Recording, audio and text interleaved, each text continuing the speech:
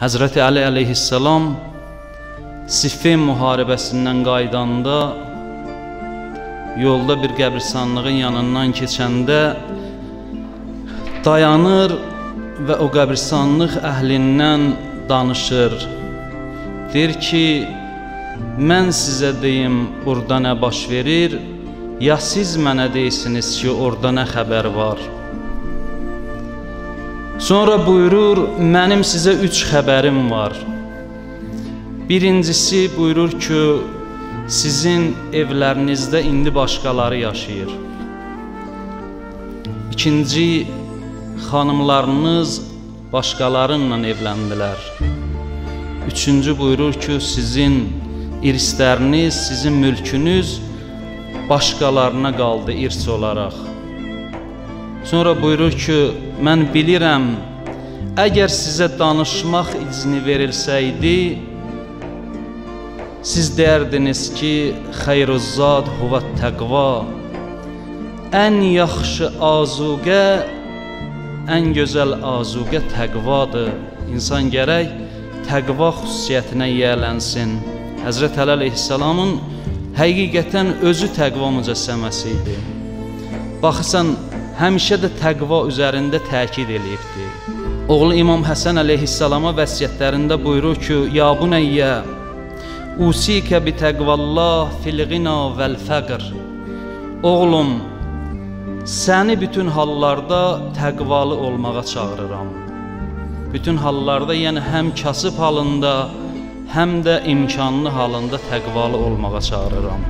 Görürsən, bəzi adamların halı dəyişir imkanı olanda bir cürə həyat tərzi yaşayır, kasıb olanda başqa bir cürə həyat dəyişir. Sabit həyat tərzi yoxdur. İmam Əli əleyhissalam ona görə xatırladır İmam Həsən əleyhissalama. İmam Həsənin simasında bizlərə tövsiyə eləyir. Həm imkanlı halınızda, həm də kasıb və fəqir halınızda təqvalı olun, təqvana riayət eləyin. Təqva nə deməkdir? Peyğəmbərdən soruşdular ki, təqva nə deməkdir? Həzrəti Rəsulullah buyurdu ki, bütövlükdə təqva, yəni təqvanın hamısı bir yerdə o şeydir ki, insan bilmədiklərini öyrənə, bildiklərinə də əməl eləyə. Bu bütövlükdə təqva deməkdir. Yəni təqvanın bir mənası budur. Həzrət İmam Sadiq əleyhissalamdan soruşdular, təqva nə deməkdir?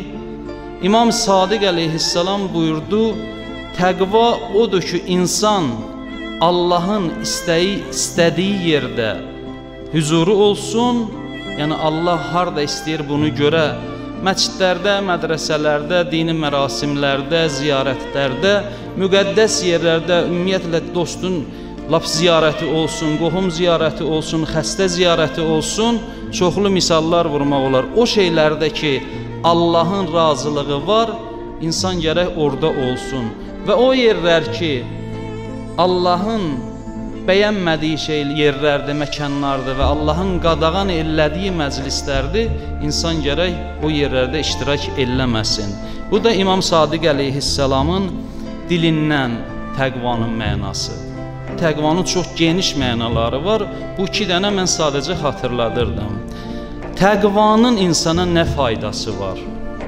Təqva yəni Allah qorxusudur. Mən bunu çox demişik, izah eləmirəm.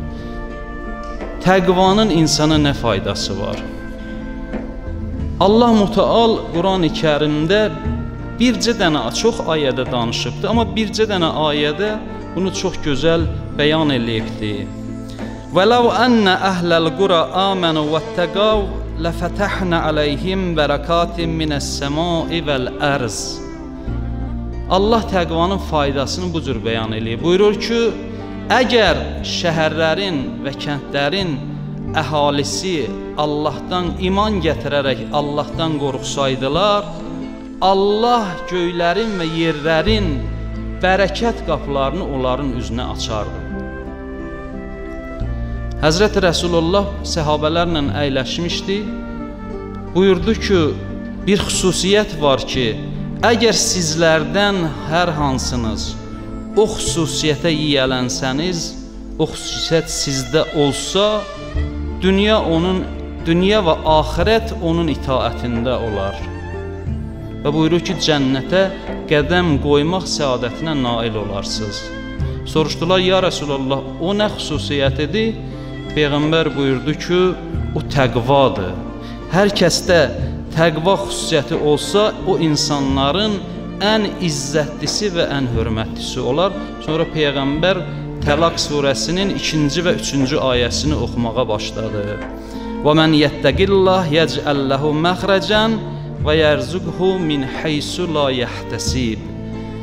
Peyğəmbər sanki öz buyurduğuna Qurandan dəlil gətirirdi. Buyurdu ki, bu ayəni Pey Peyğəmbər tilavət elədi.